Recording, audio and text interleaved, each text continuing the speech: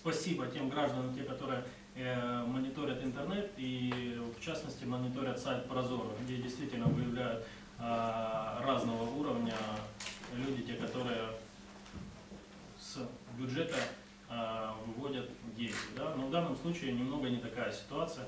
Объясню почему. В 6.10 был действительно заключен договор на сумму 1 миллион 375 тысяч гривен.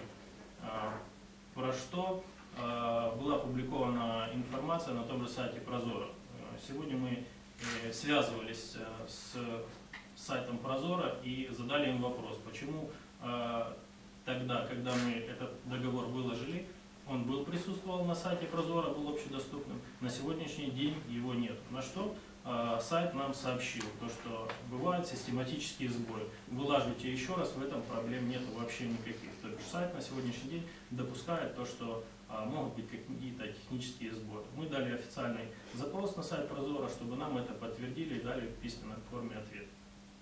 Что касается непосредственно самого договора. В той информации, э, которая была опубликовано а, в интернете на сегодняшний день, был звіт, да, то, что предоставили на 1 375 тысяч. Есть такая здесь строка, частина та приладдя автотранспортів и количество лотов. Что такое количество? По- Согласно законодательству, по каждому лоту, это так называемый классификатор. А, Мы должны э, объявлять тендер, если э, сумма его превышает 200 тысяч гривен.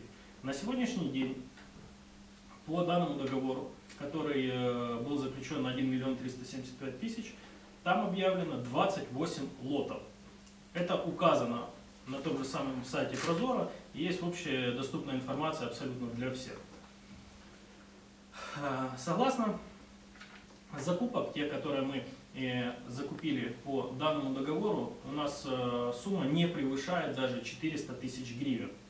Хотя то, что здесь указали, что мы там закупили на 1 миллион 375 тысяч, оно не соответствует действительности. Было закуплено а, средств для ремонта автотранспорта на сумму до 400 тысяч гривен по 28 позициям.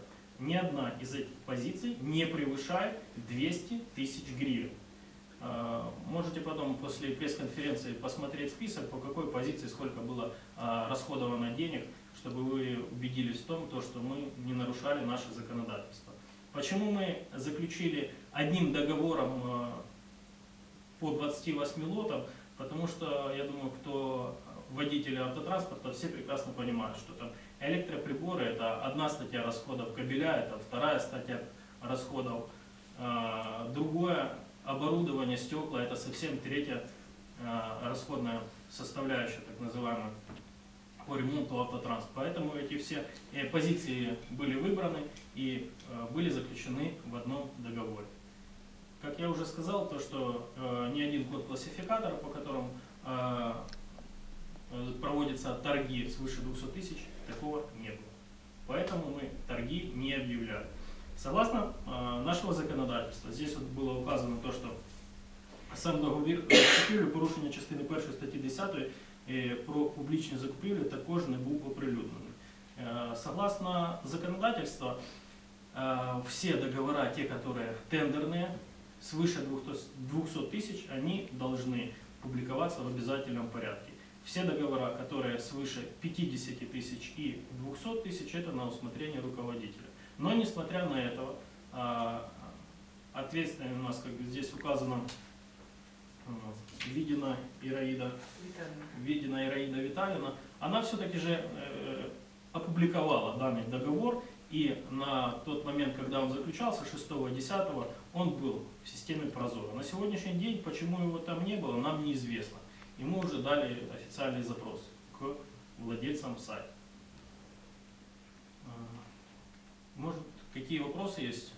Ответ на официальный запрос вы уже получили? Нет, ответ на официальный запрос мы пока не получили, мы его сегодня только отправили. Ну, то есть в телефонном режиме мы выяснили причину, э, почему такое может быть, э, на что был в телефонном режиме был получен ответ. Э, Вы не первые, не единственные, которые обращаются с такой проблемой.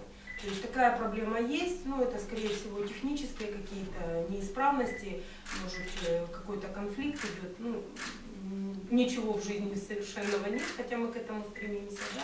но вот такие неполадки, скажем так, они бывают.